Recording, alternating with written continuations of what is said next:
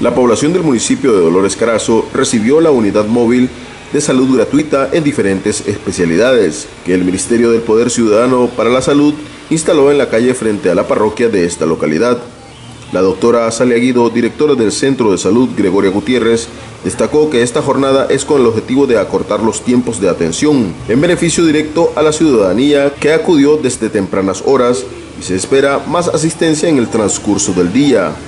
Ministerio de Salud al día de hoy, como es un compromiso de este buen gobierno de la restitución de derechos de nuestro pueblo, a nuestra comunidad, el día de hoy estamos haciendo una feria de salud donde vamos a contar con las especialidades de ginecología, oftalmología,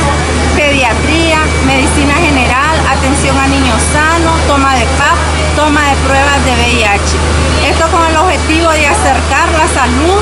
a cada uno de nuestra, de nuestra familia, a nuestros ciudadanos, como es el compromiso de este buen gobierno del comandante Daniel Ortega y la compañera.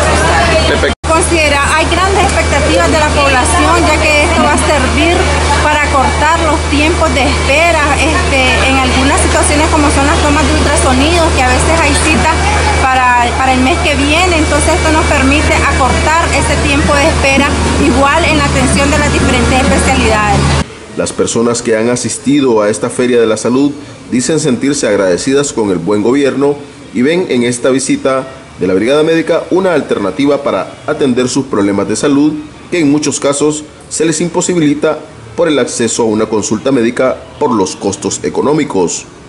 Ah, muy maravilloso, muy bonito, porque sabe que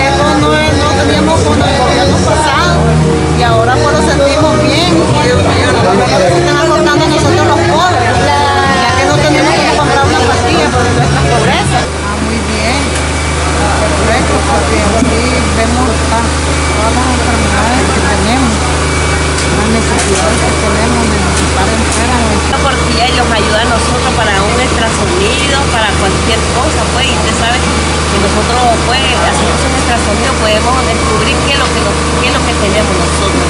Le agradecemos a la Rosario al presidente Daniel Ortega, porque nos mandó este apoyo a nosotros para que nosotros pudiéramos venir a pasar una consulta.